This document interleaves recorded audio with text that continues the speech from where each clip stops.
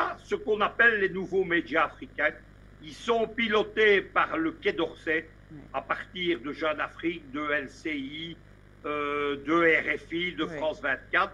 Il y a Arte, il y a Euronews, et derrière ça, il y a des centaines de soi-disant médias africains qui sont en fait des médias coloniaux. Et tous ces gens désinforment dans les réseaux sociaux, etc. Et nos téléspectateurs, souvent, ne comprennent pas. Ils pensent, par exemple, qu'il y a un projet, il y aurait un problème global en Afrique qui serait la contestation des présidents sur la base de la thématique occidentale des deux mandats. Ce n'est pas le cas. Il y a des, des situations qui sont différentes d'un pays à l'autre. Il n'y a pas les mêmes cas partout. Premièrement, la thématique des deux mandats, c'est une thématique occidentale qui concerne les États-Unis, qui ne concerne pas l'Afrique. Et deuxièmement, il faut examiner la situation de chaque régime. Il y a des présidents nationalistes avec une société civile portée par les Occidentaux qui contestent ceux qui voudraient un troisième mandat, etc.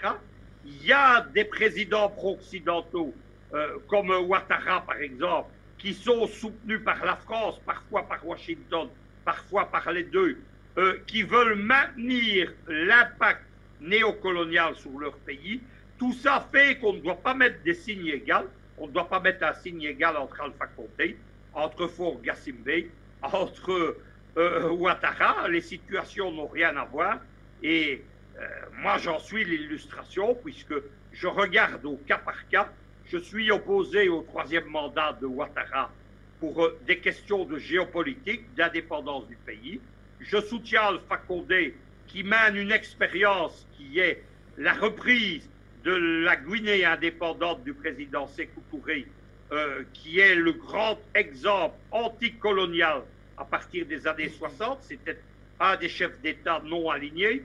Je soutiens dans d'autres pays, je suis neutre. Et dans certains pays, je ne soutiens pas la déstabilisation. J'ai soutenu Kouroudziza euh, ou le général Neva, j'ai soutenu Kabila, et je ne suis pas d'accord avec d'autres. C'est cela, il faut arrêter de faire une espèce de soupe géopolitique. C'est à ça que les Occidentaux veulent nous faire croire. Les téléspectateurs d'Afrique Média, ils doivent tout d'abord oublier l'émotion. La géopolitique et l'émotion, c'est deux choses incompatibles. Il ne faut pas faire de l'émotion. Il ne faut pas juger les choses en fonction du pays auquel vous appartenez. Il y a des gens qui raisonnent parfaitement et dès qu'on touche à leur pays, le Togo, le Cameroun, la Côte d'Ivoire, ils commencent à ne plus raisonner sainement et il faut regarder au cas par cas. La ligne d'Afrique Média, elle est simple, c'est de faire avancer la cause panafricaine. Il n'y aurait pas Afrique Média qui changerait d'avis, qui retournerait sa veste comme nous a asséné un, un téléspectateur hier.